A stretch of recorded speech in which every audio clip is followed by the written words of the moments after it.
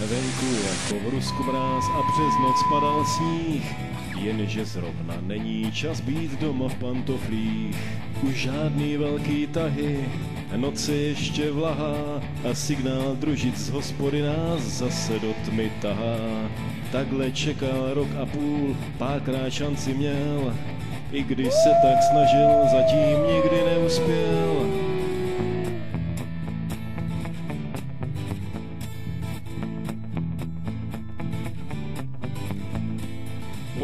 Pařezem v klínu skal nás prázdný logbook čeká. Nejde o nic menšího než o prvního fleka. Až se nám to povede tam někde v lůně lesa. Slzu štěstí uroním, mé srdce bude plesat.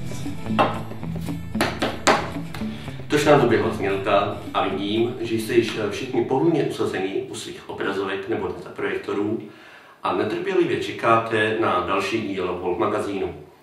Jak všichni dobře víte, jmenuji se Petr Kučera a všechny vás srdečně zdravím. V dnešním díle se budeme zaopírat geocachingem, ale nejprve menší propagace. Pokud poptáváte cokoliv ohledně zpracování a následné úpravy fotografií, grafických návrhů, webdesignu anebo videa, stačí se obrátit na náš e-mail, který právě teď vidíte na své obrazovce. Nyní přijdeme k dnešnímu tématu. Co to je vůbec onen zmíněný geocaching? Geocaching je název turistické hry, které lidé hledají tzv. keše za pomocí GPS.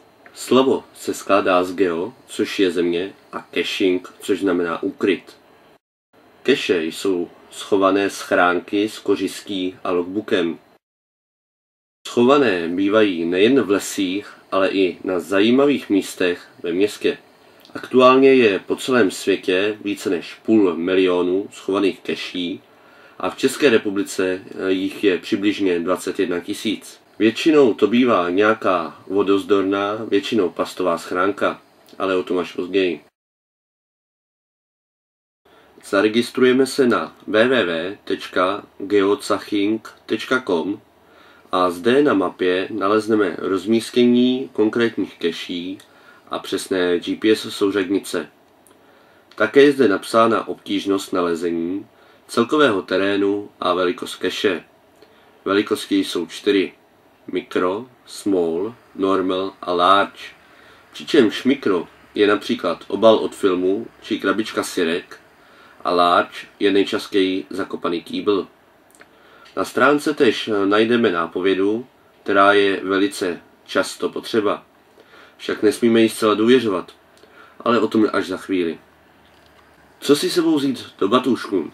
V závislosti na tom, kam a na jak dlouho vyrážíme na lov, je dobré zvážit, zda se budou hodit některé věci.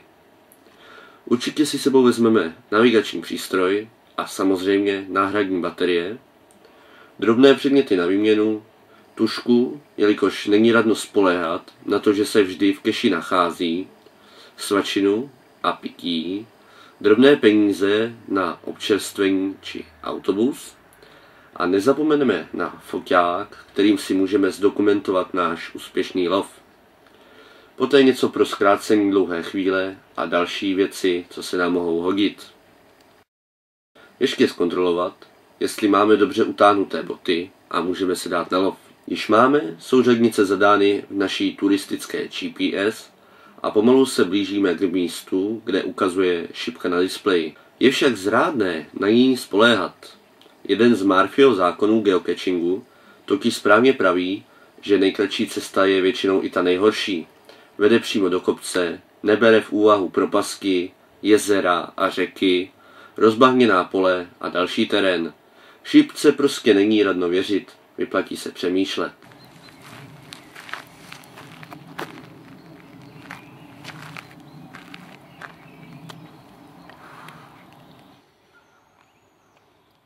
Sto třicet metrů, to je... Je to správně, tak tam jde.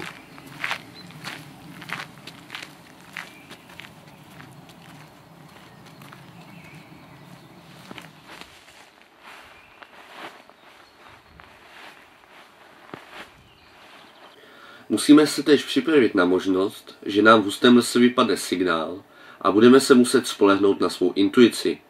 V tomto případě nám pomůže nápověda. Například eh, zde případně říká, poklad se ukrývá u hraničního patníku. A hele, tamhle je nápověda. To je ten patník. Takže tady to někde musí být. Ale kde? A našli jsme to v okruhu dvou metrů.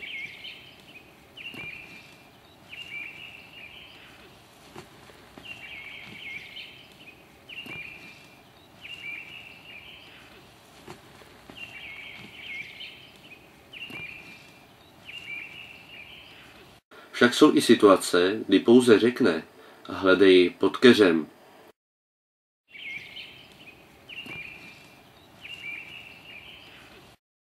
Občas musíme přemýšlet, i když máme plný signál s přesností na metr.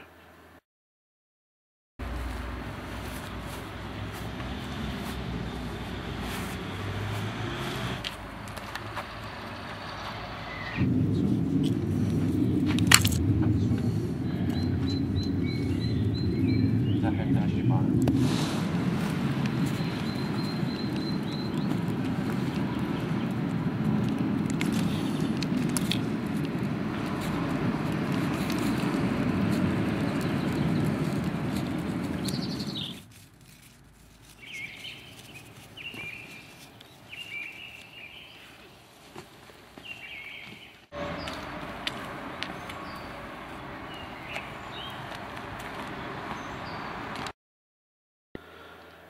Některé keše jsou dokonce na tak výjimečných místech, že je může chránit i policie.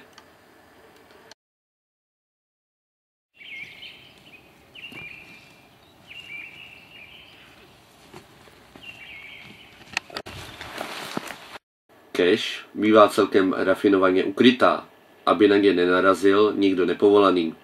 Takzvaní mudlové, neboli lidé, kteří nejsou s hrou seznámeni a mohli by schránku poškodit či odnést. Takže když někoho zahledneme, vyčkáme s vytažením a chováme se co nejvíce nenápadně. Bohužel se také setkáváme se špatně zabalenými schránkami, kde logovací papír je vystaven povětrnostním vlivům a je poté bohužel takřka nepoužitelný.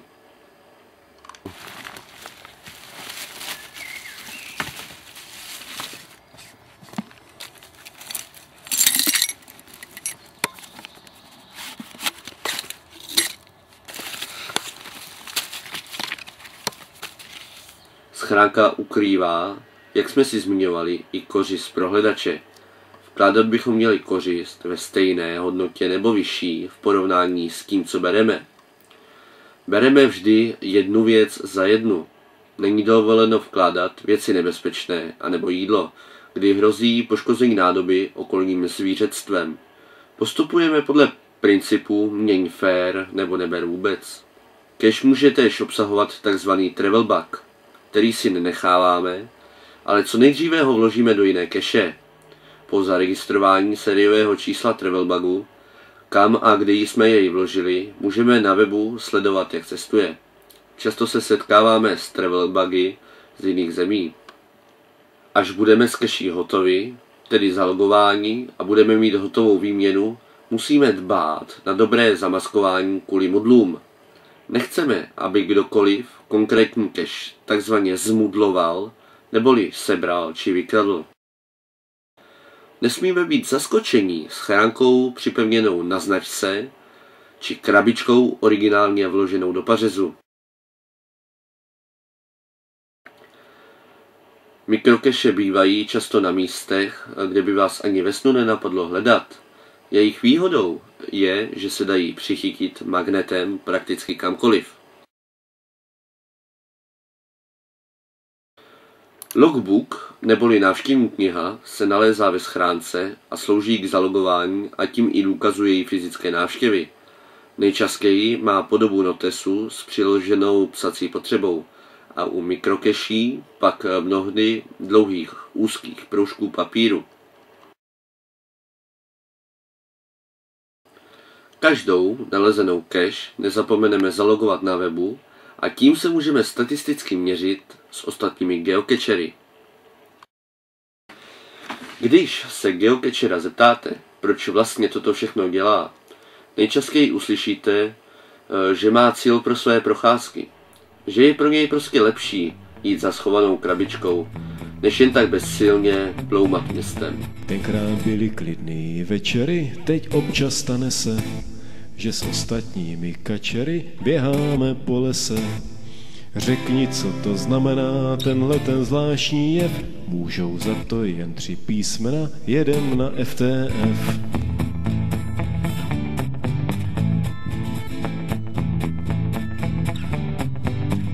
To nám pivo vřálo kokosy, teď máme trochu splín. Vrchní už nosí pod nosy jen s vodou bez bublin. To jen tak pro klid na duši, vždyť nezboří se svět. A jeden nikdy netuší, kdy bude muset jet.